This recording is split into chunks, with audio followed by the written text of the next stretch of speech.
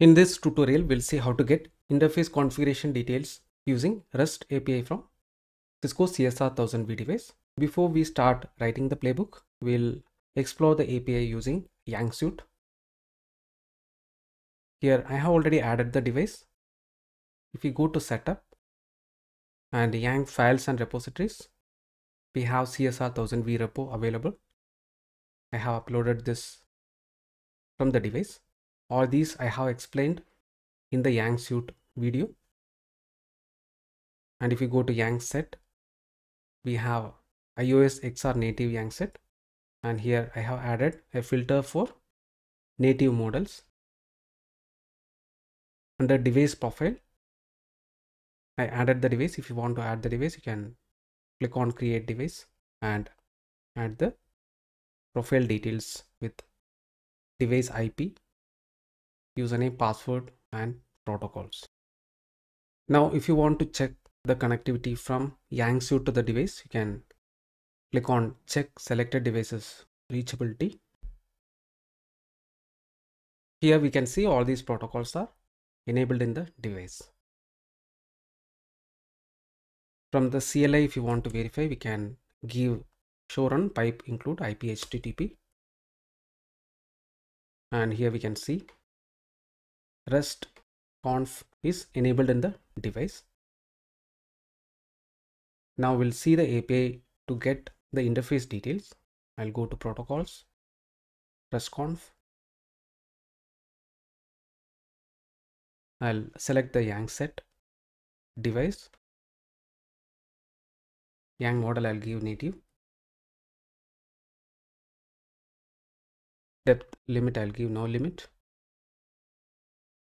load module. This is loading native Yang model. I'll expand this. To check the interface details, we can go to interfaces, interface and gigabit ethernet. I'll click on generate API So here we are getting a message APIs are generated.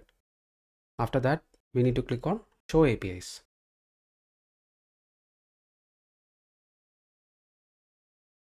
So here we'll be able to see all the API details of CSR 1000V interface configuration.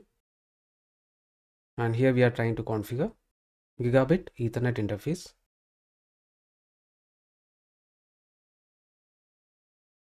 And we'll see how to do a get request. I'll click on show APIs again.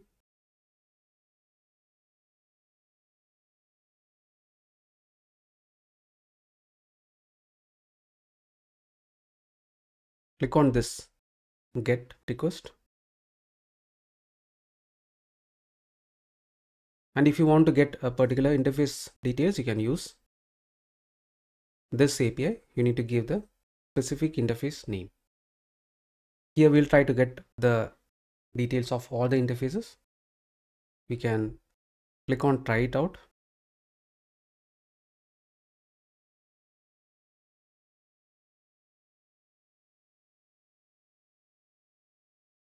Execute.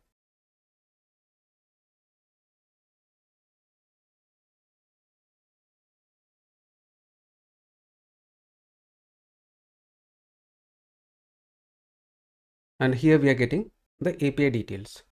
Actually, this is connecting from the Yang suite. You can see the Yang suite IP. It is 99 colon 8443. This is the port number of Yang suite. And from there, it is trying to reach the device port number 443 restconf. And this is the URL for getting the interface details. And here we can see it is passing one additional header accept and application slash yang hyphen data plus json. And here we are able to see even the response. So this particular device is having all these interfaces configured. In this video we'll be just doing only a get request. First we'll see the API details from Postman. I'll open this particular request. Here also I have added same URL native slash interface slash gigabit ethernet.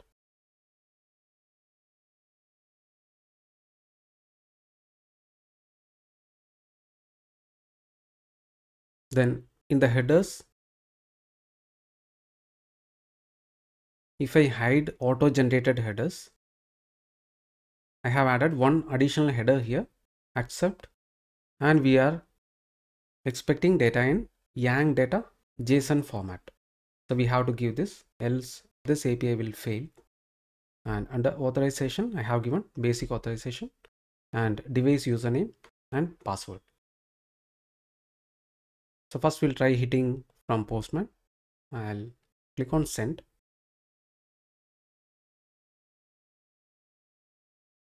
Here also we are getting same data. You want to see the python script for this.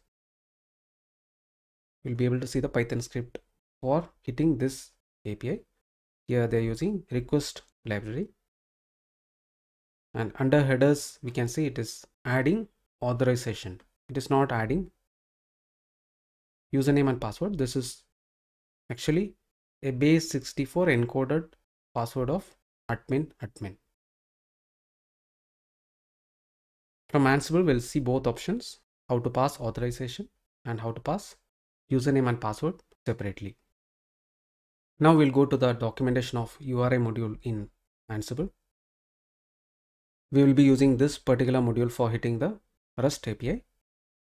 Here if you see, we have one mandatory parameter, which is URL.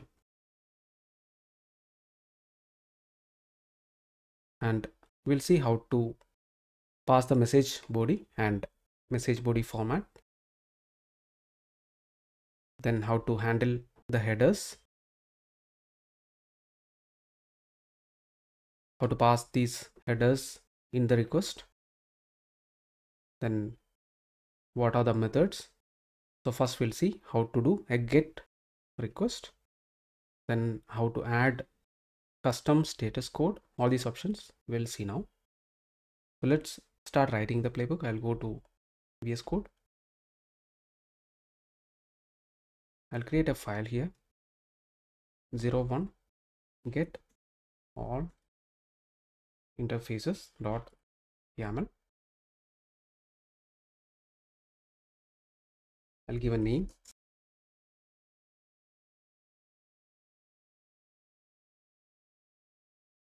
API get and we'll run this against R3 R3 is CSR which we have seen earlier. I'll give gather facts. False and under tasks name get interfaces. And this particular module is by default available in Ansible core so you don't have to install it manually. You can see here this module is part of Ansible core. You can use Ansible dot built-in dot URI then we need to give URL I'll go to Postman and from here we'll copy the URL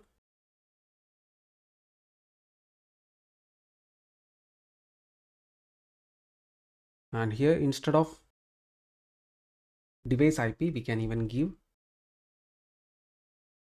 ansible underscore host. This variable is already having the device IP this is a magic variable. Now we are going to hit this particular URL and first we'll see how to pass username and password manually. I'll give user admin password. Admin it is not recommended to keep password in plain format like this. You need to use ansible vault or you need to put it in some variable and use it. Here just for learning purpose i'm just adding it in this format.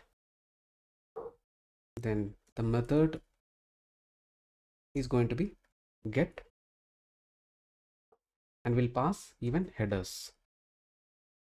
And if you look into the headers of postman. We were passing this data same data will pass there also. I'll copy this.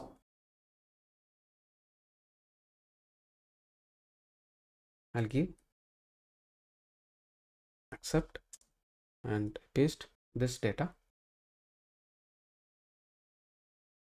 And I'll register this to a variable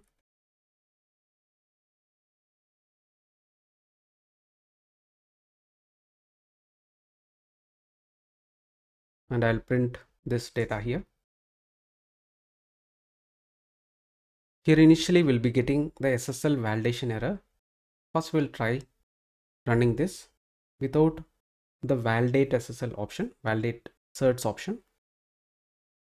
I'll give Ansible playbook and directory is 22, file is 01, enter. So here we are getting an error saying that certificate verify failed. In production, it is recommended to have a valid certificate in all the devices so that you won't be getting this error because Ansible is by default validating that it is connecting to the right device. And if you have valid certificate, you will not be getting this error. Now here we'll give an exception I will give validate certs false.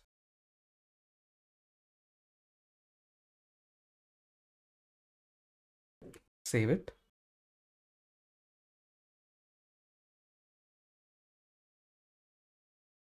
And let us try running this.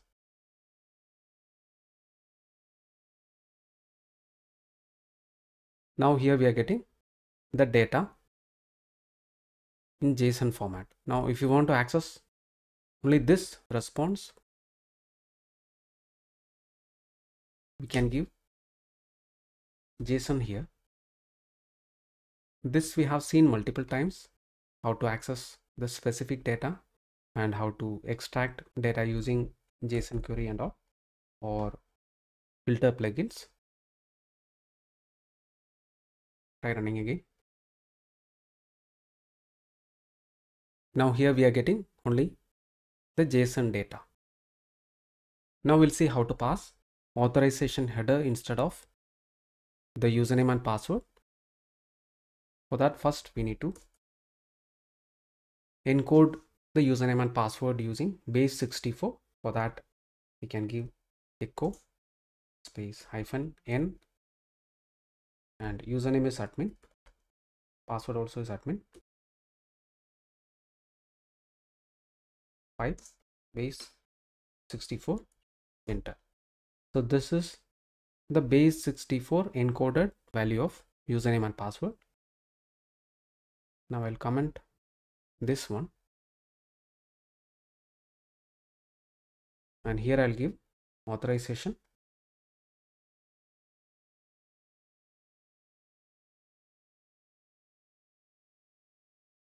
This basic authorization and here I'll paste the encoded key.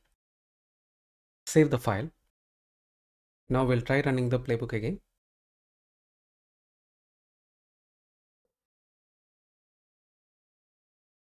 And now also we are getting same data. And if you notice this particular authorization key in postman python script also we are getting same data. So Postman is encoding this using base 64. In this way, you can do GET request to Cisco device using Ansible. In the next video, we'll see how to get the full configuration in JSON format using REST API.